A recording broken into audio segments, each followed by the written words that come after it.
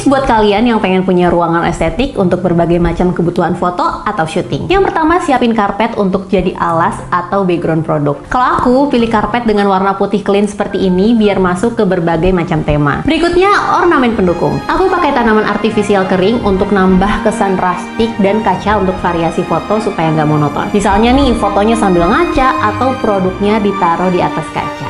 Selain siapin ruangan yang estetik, kita perlu pastiin kalau kualitas udara di dalam ruangan itu sehat supaya setelah bikin konten kita nggak sakit. Apalagi selama pandemi ini sebagian besar kan aktivitas di dalam ruangan dan aku concern banget karena ada anak-anak yang sensitif terhadap alergi. Makanya di sini aku pakai Tornado Air Purifier dari Koi supaya kualitas udara di ruangan tetap sehat. Berkat teknologi HEPA filter dan RBD plasma yang bersihin virus serta bakteri, bikin udara ruangan jadi lebih sehat, napas pun jadi lebih lega.